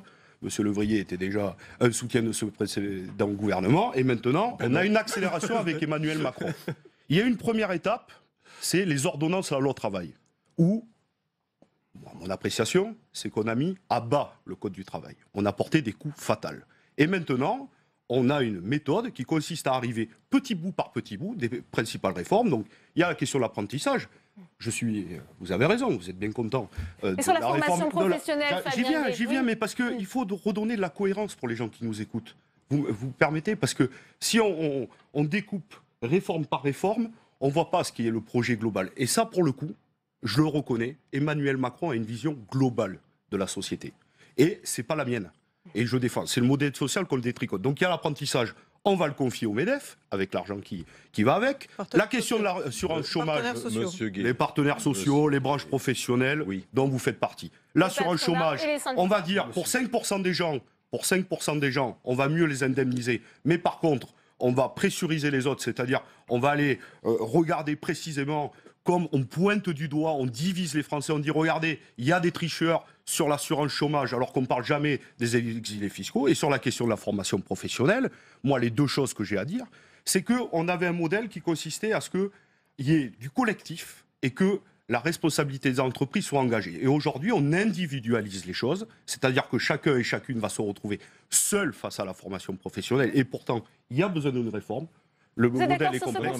il y a besoin d'une réforme, ça marche mal. Il y a 32 milliards d'euros engagés, il y a 10% seulement des chômeurs qui ont accès. Mais pour le coup, on individualise. Et la deuxième chose, c'est qu'on va plus reconnaître les qualifications qui sont importantes, mais seulement les compétences. Martin je pense que là, on a un débat. Monsieur Gay, vous pouvez pas dire ça. D'abord, dire que tout est aux mains du MEDEF, c'est visiblement pas le cas, puisque le MEDEF n'avait pas l'air très content il y a deux minutes à côté de moi. La CPME est beaucoup plus heureuse, la CFDT est, plus, est, plus, raisonnable. Ils sont bien entendus tous les jours. Pour ce qui, pour ce qui, pour ce qui, si on parle des individus, des, gens qui travaillent, euh, créer ce compte personnel, renouveler ce compte de formation personnelle individualisé n'empêche pas le travail collectif, n'empêche pas qu'à travers, laissez-moi finir, laissez-moi finir, que qu'il y a une création d'un organisme dans chaque région qui est chargé euh, d'évaluer et d'aider les, les, personnes qui veulent se former à titre individuel. Ça n'empêche pas les plans de formation en entreprise. Tout ça n'a pas changé et continue à évoluer dans un sens de rapidité, d'efficacité et de liberté beaucoup plus forte de l'individu, ce qui devrait vous plaire. Florence Poivet, justement, si on rentre dans le détail, on a parlé de euh, ce compte euh, justement euh, personnel de formation. Est-ce que vous approuvez, vous, la monétisation, le passage d'heures en euros? C'est un des points clés hein, de cette réforme. Alors, moi, je voudrais rappeler que le grand Big Bang de la formation professionnelle, c'est les partenaires sociaux qui, en 2013, l'ont porté. C'est nous qui avons créé le compte personnel de formation, dans un souci, dans un souci d'offrir de la liberté, mais avec, au regard de la liberté, une mise en responsabilité. Ces formations devaient être certifiantes et, doivent être certifiantes et qualifiantes. Et puis, ça, c'est une première facette de ce Big Bang 2013. Et la deuxième facette, c'était de sortir euh, de cette logique de, formation professionnelle qui est une obligation de dépenser, qui est une charge, pour qu'elle devienne véritablement un investissement, sachant, et Muriel Pénicaud l'a évoqué ce matin, combien euh, cette exigence de monter en compétence euh, des, collaborateurs, c'est un levier d'avenir pour chacune de nos entreprises et un levier d'avenir pour chaque, euh, pour chaque individu. Donc oui, plus de liberté, pas de souci. Hein. Je, je l'ai porté et je l'ai porté avec enthousiasme en 2013. Donc oui, euh, donnons plus de liberté mais je pense que Yvan euh, reviendra dessus, en, en, élargissant et en renforçant les droits de, chaque salarié dans, la négociation que nous avons euh, que nous avons menée ensemble, on est allé dans ce sens-là et sans et sans réticence. Par contre, un des éléments que personnellement j'ai trouvé extrêmement intéressant dans notre négociation, c'est que de cette dimension d'investissement pour l'entreprise autour de la montée en, en compétences des collaborateurs, nous sommes arrivés en, discutant ensemble à la co-construction et le co-investissement de chacun des salariés potentiellement avec l'entreprise lorsqu'il y a un projet collectif de montée en compétences de chacun, mais dans un projet collectif de l'entreprise.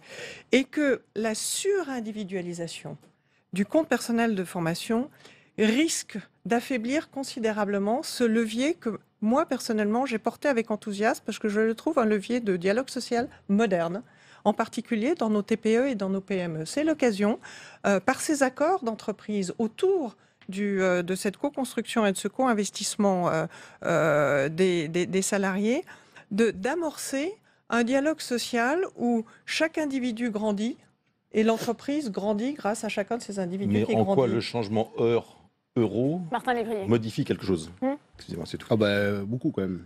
Euh, ça, ça, modifie assez considérablement la, la, nature, des, la nature des choses. Euh, je ne sais pas si vous voulez que oui, Yvan, peut-être prenne justement le, sur cette prenne le question. relais.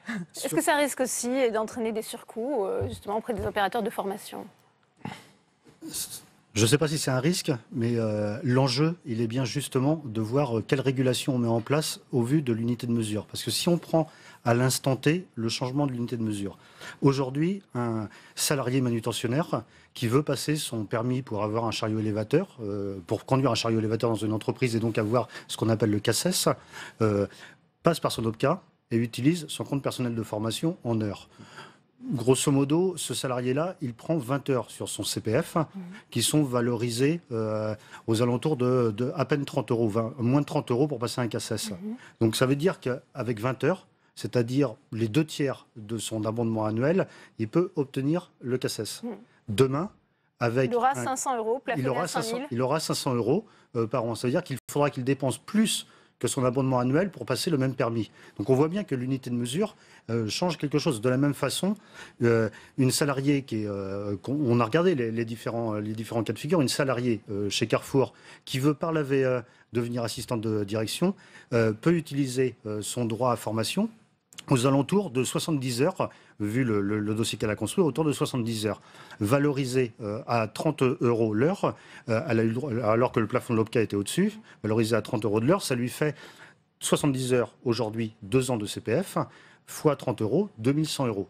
Demain, ça fait 4 ans de CPF pour obtenir ça. Donc on voit bien que le changement d'unité de mesure dans l'utilisation des droits, alors que nous, on avait prévu une augmentation des droits, peut être déstabilisateur et destructeur par le droit. Alors cela étant dit, il euh, faut être euh, sur tous les sujets euh, raisonnable dans la présentation et les enjeux. Euh, la façon dont les heures étaient valorisées était pas toujours homogène. Et donc, de ce point de vue-là, la régulation au niveau des heures dans les OPCA était quelque chose qui était nécessaire à l'avenir. Donc, ce que dit les OPCA, ce sont les organismes paritaires collecteurs agréés. Voilà, ils vont être supprimés aussi dans, dans non, la ils vont réforme. Pas être, non, non, ils vont pas être, ils vont pas être supprimés, ils vont être transformés. Et on, en est, on est d'accord. Et juste pour, juste pour finir la démonstration, c'est-à-dire que si on ne veut pas que le changement de l'unité de mesure soit une réduction de droits pour les salariés à la formation professionnelle, il faut absolument que la première mesure, ce soit la façon de réguler le système dans les nouvelles instances. Ouais. Et si on n'a pas la régulation du système... C'est pour ça qu'une nouvelle agence va être créée, qu'il y aura ouais, aussi un changement de la gouvernance. Il y a un enjeu essentiel là-dessus. Oui. Fabien Gay, ensuite Martin Ivrier. Non, mais je suis en plein accord avec euh, ce que vous dites. Le, le gros risque, c'est ça. C'est qu'il y ait moins de droits pour les salariés. Il faut, faut, faut vous l'avez parfaitement expliqué, je ne vais pas redire la même chose, mais aujourd'hui, il y a peu de risques. C'est-à-dire qu'on dit on va convertir en heure en euros. Et globalement, on sait que ce n'est pas la première année qui va être complexe. C'est dans les deux, trois ou quatre années qui vont suivre. Parce que oui, oui, il va y avoir un surcoût. Oui, on va profiter pour dire, là où on prenait l'équivalent de 20 heures, on le calculait à 100 ou 200 ou 300 euros, on le valorisait. Demain, vous avez 500 euros. Quand même, au bout de 10 ans, hein, il va falloir... C'est, on va engranger au fur et à mesure. Hein. Demain, ça suffira pas. Et donc, globalement, un salarié, pour pouvoir se former tout au long de sa vie, parce que nous, on porte la question de la formation tout au long de sa vie. On peut changer d'emploi. Ça peut arriver. Et je crois qu'il est sain de pouvoir avoir un emploi, pouvoir se former et revenir sur le marché de l'emploi. Nous, nous portons la question de la sécurité d'emploi et de formation. La, création d'une cinquième branche de la sécurité sociale. On pourrait la mettre en débat, ce n'est pas le choix qui est fait aujourd'hui. Bon, dont acte. Mais nous continuons à pousser ça, parce qu'on pense qu'il faut un service public de la formation. Là, il y a un gros risque qu'on le livre au privé et qu'on s'engraisse sur ça au détriment des droits des salariés. Et derrière, comme il n'y a plus de collectif, c'est on se retrouve l'individu face à sa formation. Et bien demain, pour pouvoir se former, il faudra mettre la main à la poche, alors que les salaires n'augmentent Je, toujours je pas. rappelle que euh, la formation continue tout au long de la vie, c'est indispensable. Je rappelle que les entreprises sont impliquées, que euh, les ce compte peu. personnel ne remplace pas la totalité de la formation, et bien heureusement. Je rappelle aussi que l'avantage, l'air de rien, de passer en euros, c'est d'imaginer, enfin moi j'y crois beaucoup parce que je l'avais créé sur d'autres, un système d'abondement par l'entreprise, par accord d'entreprise, et j'espère que les entreprises vont se jeter dedans pour abonder ce compte-là pour que les salariés puissent en avoir plus. On peut aussi imaginer que des salariés, pour des raisons personnelles, veuillent mettre de l'argent. De, avec quel salaire? Vous, vous voyez la vie dure. Vous avez des, Mais, cadres, euh, vous mais- avez des cadres qui se forment aussi. bien et sûr. des cadres moyens Bien qui sûr, ont envie il y a de besoin changer. des cadres, mais il y a besoin de Il y a- salariés. Il y a besoin d'un système qui s'équilibre entre l'individu Et l'entreprise. Aujourd'hui, aujourd'hui, un salarié va changer de métier trois ou quatre fois dans sa vie. C'est ça aussi l'enjeu. Donc il doit être formé. Il- mais voilà, doit se former besoin, il doit s'évoluer. C'est pas obligatoirement une formation faite par l'entreprise qui va l'aider. Là, on est d'accord. Et, et l'entreprise A doit accepter de former pour que plus tard cette personne aille dans l'entreprise l'entreprise B. C'est le principe de la mutualisation. Autre point essentiel, c'est que ce fait de mutualiser de cette façon permet aux petites entreprises qui sont essentielles dans notre tissu aujourd'hui de pouvoir faire bénéficier ce CPF aux- à leurs salariés, alors qu'avant, ce n'était pas le cas. Et dernier point, j'insiste, je m'arrêterai après, sur la loi de 2013 et suivante, le problème dans les entreprises, et je l'ai vécu, c'est que c'était une usine à gaz, et que dans des petites structures ou moyennes structures, moi j'avais 200 salariés à peu près, c'était absolument ingérable.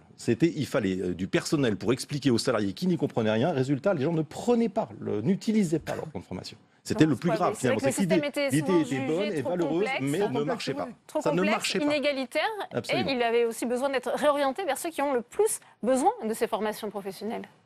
Non, sur, sur la complexité, je, je, je vous rejoins. D'ailleurs, dans, dans l'accord, nous avons, nous avons commencé à poser les bases d'une relecture des certifications euh, pour sortir de, de, de la question des listes.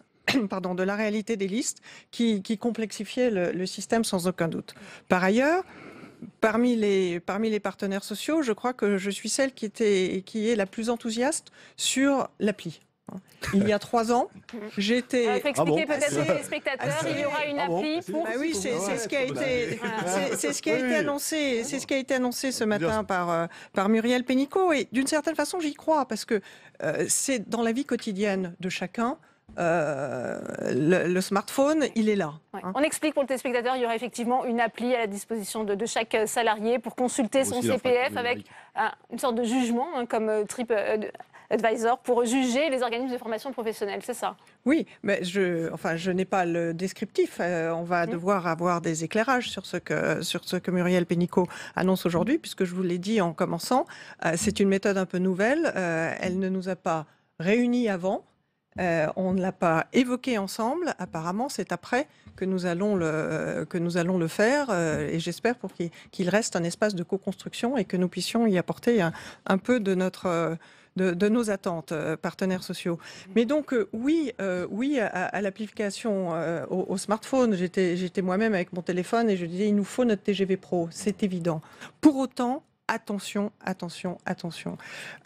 Les parcours, bien sûr, bien sûr que tout ça doit s'inscrire dans, un, parcours. Mais ce parcours, il doit venir à la rencontre de quelque chose d'utile. Et, parce que pour 80% des Français qui vont rentrer dans une, logique de, de formation, c'est pour qu'elles servent qu'elles servent à quelque chose. Et servir à quelque chose, c'est venir à la rencontre des besoins en compétences des entreprises et, a priori, de son entreprise qui reste que... Vous vous dites aujourd'hui les le entreprises sont trop tenues à l'écart, justement, les salariés vont pouvoir risque. choisir eux-mêmes leur, leur Il y a- formation il y a un grand sans pari. adéquation avec les compétences Oui, requises. il y a- je trouve qu'il y a un pari fort, Mm. risqué, fait par le gouvernement d'une surindividualisation. Et les pays qui l'ont tenté, l'Angleterre Mm. est revenue dessus au bout de 18 mois. Les Suédois ont voulu rentrer dans cette logique-là. Ils n'y sont pas allés parce qu'ils se sont bien rendus compte que la formation, c'est au-delà d'un produit qui a un coût, c'est un contenu et c'est une pierre de construction d'un parcours. Et donc, c'est ce au-delà de, de cette dimension euh, j'ai de l'argent et je vais aller acheter à prix le meilleur possible. Yvan Ricordo et ensuite. Martin Lévrier. Mais c'est pour ça que les deux enjeux vont de pair. Euh, qui est une application numérique et qui est une simplification euh, du système, je ne vois pas qui euh, pourrait objectivement euh, s'opposer à de telles évolutions. On a tous intérêt à avoir euh, des enjeux qui soient lisibles et des pratiques pour répondre au développement des compétences qui soient accessibles au plus grand nombre. Et donc du coup, ça, ça va très bien. Mais la question des parcours professionnels, la plupart du temps, c'est un salarié qui, au pire, se heurte à un problème dans son environnement pro parce qu'il a fait le tour de son poste de travail, parce qu'il voudrait évoluer, mais au mieux se pose une question en disant euh, j'aimerais euh, bien euh, regarder quelles opportunités je peux avoir. Mais passer d'un problème, une question, à personnaliser un projet, voir quelles sont les opportunités, quels sont les organismes de formation, et ça nécessite d'avoir des professionnels qui accompagnent les, les gens. Et c'est pour ça que nous, dans l'accord, on a construit, et ça va être repris euh, dans le projet de loi, et ça c'est un bon point, à la fois une simplification du système, euh, sur lequel on n'a pas de problème, euh, et euh, en plus un dispositif d'accompagnement personnalisé pour l'ensemble des salariés. Et ça c'est une nouveauté, euh, un nouveau droit créé par les partenaires sociaux qui va être repris dans le projet de loi, sur lequel on a trouvé un financement de 250 millions d'euros pour rendre les gens plus euh, euh, autonomes dans leur parcours professionnel, ce qui ne veut pas dire qu'on individualise absolument toutes les réponses. Fabien Gay et Martin Lévrier. Oui, moi deux choses. Moi je me méfie toujours quand on dit simplifier de la part de ce gouvernement parce que ça veut dire euh, casser ou libéraliser et euh, lorsqu'on parle de réforme, on veut dire remettre tout à plat et c'est-à-dire revenir sur le droit des salariés conquis de haute lutte. Donc je me méfie toujours de ces mots et il y a une guerre des mots, il y a une guerre idéologique que mène Emmanuel Macron. Donc il faut faire attention. Mais évidemment, euh, personne n'est contre qu'on ait une application. Voilà, on est. Mais euh, je rappelle quand même qu'il y a une fracture numérique et un certain nombre, par exemple, d'ouvriers. Moi, je me balade un peu partout en France. Il y en a beaucoup qui sont en lutte euh, aujourd'hui et euh, pas tout le monde a les moyens de pouvoir euh, s'acheter un iPhone. Et donc, je pense qu'il faut accompagner ça d'une véritable aide à la formation et de pouvoir avoir quelqu'un en physique. La deuxième chose qui est très importante, parce que vous avez euh, ce mot, madame, les compétences. Et je le disais au début, c'est compétences versus qualification. Les compétences, c'est ce que vous allez demander aux gens pour répondre à vos besoins. Très bien, mais moi je parle de qualification.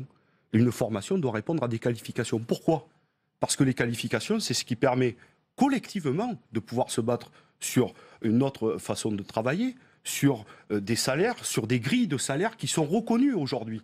Quand par exemple un OS fait une formation et qu'il a une qualification qui lui permet de revendiquer un salaire, tant mieux, et c'est ça qui est bon. Mais euh, demain, il y aura des compétences qui seront reconnues, on ne sait par qui. Peut-être par vous, par la direction, mais diront oui, tu as acquis une compétence, mais ça, ça rentre pas dans nos grilles de salaire. Et donc je dis que attention, c'est pas que de la sémantique, et c'est très fort ce qu'ils sont en train de faire, et ça, ça, ça ne va pas dans le bon sens. Il y a besoin de formation qualifiante pour que les gens qui se forment aujourd'hui puissent continuer à évoluer tout au long de leur vie et pas rester au bas de l'échelle. Monsieur Guy, je suis assez d'accord avec vous. Oh mais oui, c'est- il y, a- il y a deux choses sur lesquelles je suis d'accord avec vous. La fracture numérique, elle existe. Il ne faut pas la nier et il faut travailler très fortement pour la supprimer. Et là, je crois qu'on est vraiment d'accord et on sera partenaire.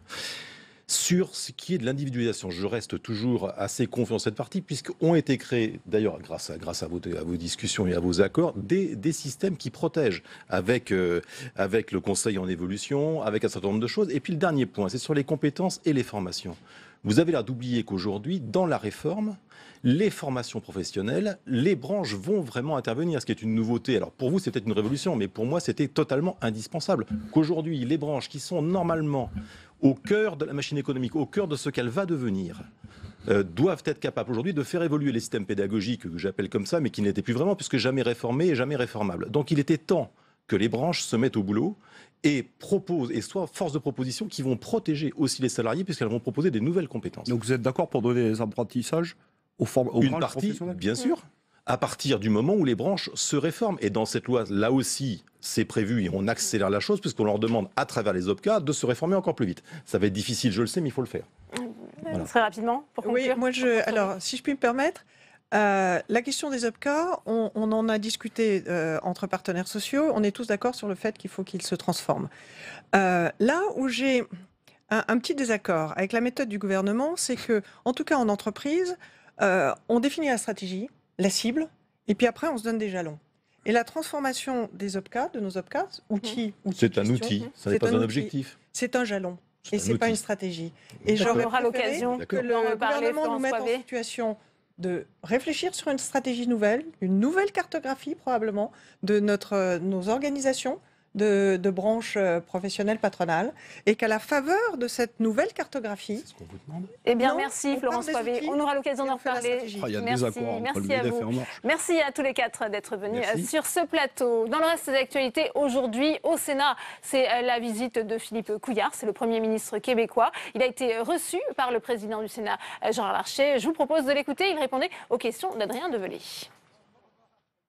Je viens d'avoir une avec le président du Sénat, M. Larcher, euh, essentiellement sur les mêmes thèmes. Euh, M. Larcher était très curieux de connaître notre perception des politiques américaines euh, annoncées ou pas, on ne le sait pas vraiment, notamment en ce qui a trait aux, quotas ou aux tarifs sur les, sur les métaux, mais également les sujets d'intérêt commun, l'environnement, l'accord de libre-échange, bien sûr.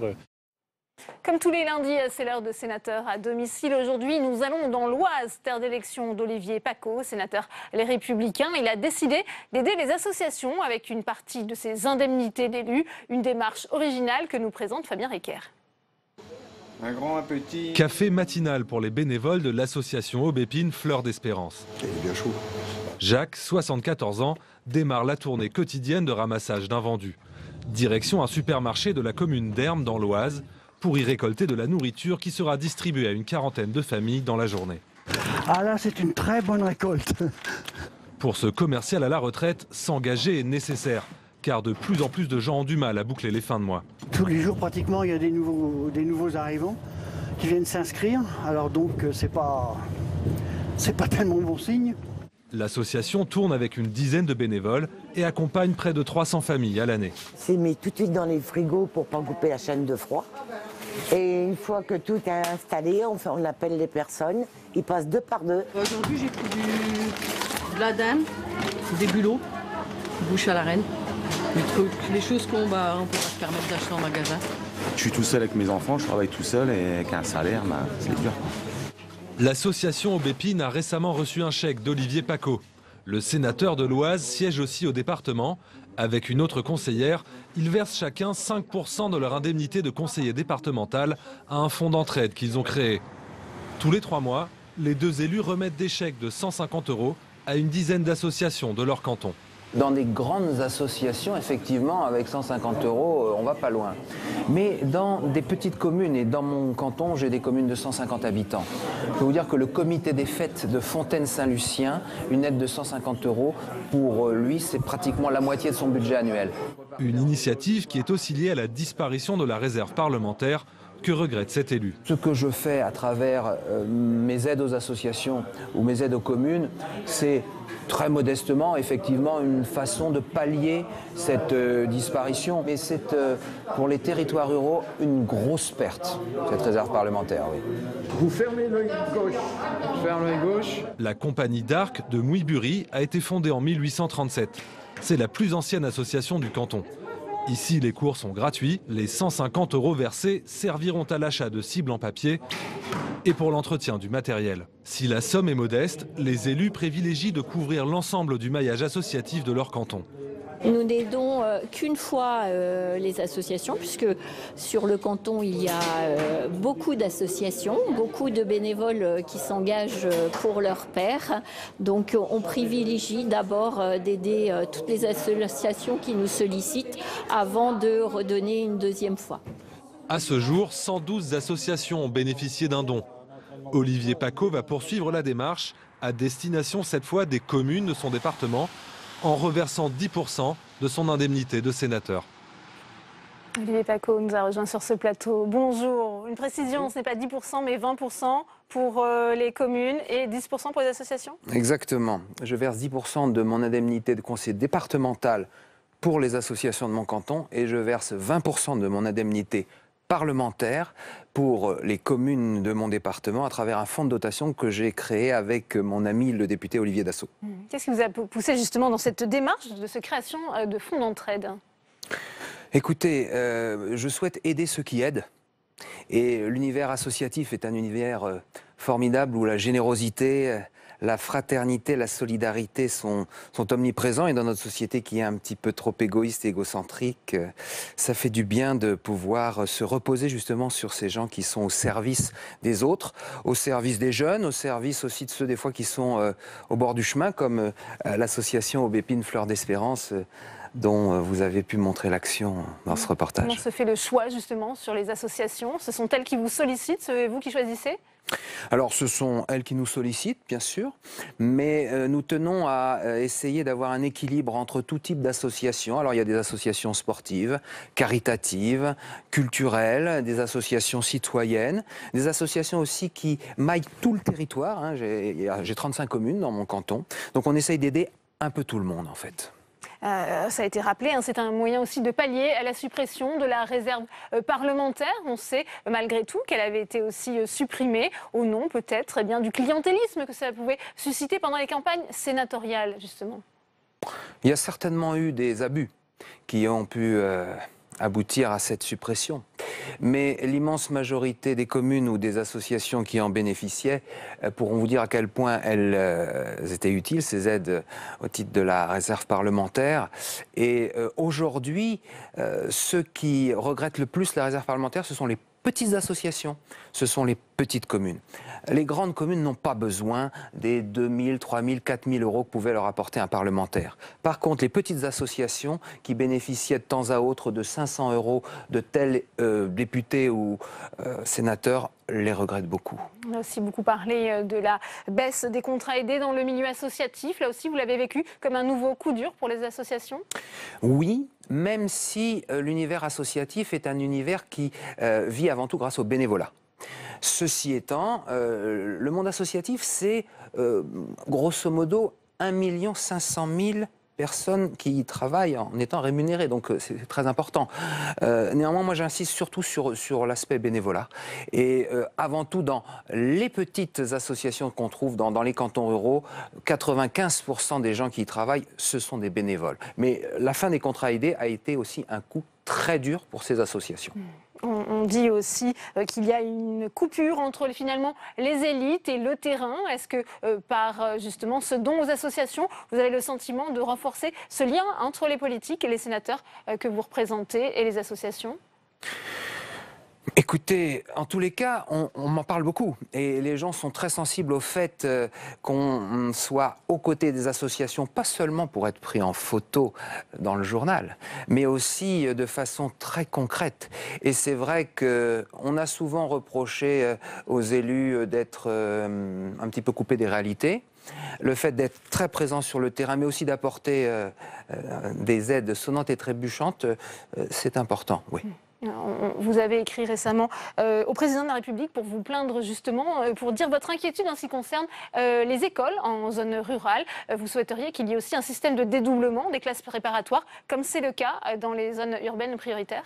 Oui, j'ai écrit au président de la République pour lui dire deux choses. D'abord que le dédoublement des classes de CP et de CE1 à la rentrée prochaine en, zone d'éducation prioritaire était certainement une bonne chose. Mais que les difficultés sociales ne se concentraient pas uniquement dans euh, les quartiers sensibles et que dans beaucoup de zones rurales, il y avait euh, de, grandes difficultés euh, culturelles, financières, sociales, et qu'on ne pouvait pas oublier que les citoyens des campagnes sont aussi des contribuables. Ils doivent être bien traités. Et j'ai simplement suggéré au président de la République de tenter une expérimentation. C'est-à-dire que peut-être que sur 100 ces PD doublé, s'il y en avait une vingtaine en zone rurale, ce ne serait pas une mauvaise chose. Je pense sincèrement qu'il faut envoyer un message à la ruralité, lui montrer qu'on ne l'oublie pas, qu'on ne la méprise pas. Et euh, je Vous avez une réponse du président de la République ou au moins du ministre de l'Éducation nationale Pas encore, je le regrette, j'espère que j'en aurai une. J'espère surtout pour, euh, pour la ruralité. Vous avez le sentiment qu'elle est oubliée pour l'instant euh, d'Emmanuel Macron, cette ruralité? Ce sont surtout les ruraux qui ont ce sentiment-là. Mais malheureusement, oui, j'ai ce sentiment. Quand on dit que le président de la République est un peu le, président des villes, je crois que c'est un peu vrai. Et je le regrette. Je le regrette d'autant plus qu'Emmanuel Macron, lorsqu'il est sorti de l'ENA, est venu en poste dans l'Oise, à la préfecture de Beauvais. Et à l'époque, j'ai beaucoup travaillé avec lui. Et euh, c'était un homme qui avait une grande écoute, aussi bien pour euh, les urbains que pour les ruraux. Et là, est-ce euh, du côté de son administration Je ne sais pas. Toujours est-il que c'est c'est malheureusement peut-être un peu le président des villes. Oui, je le regrette. Eh bien, merci beaucoup Olivier Paco d'être venu euh, sur ce plateau. Merci. C'est la fin de cette édition. Merci à vous euh, de l'avoir suivi. À suivre l'épreuve de vérité. Invité euh, ce soir Laurent Berger, euh, c'est le cré- secrétaire général de la CFDT. Euh, Très bonne soirée et à demain.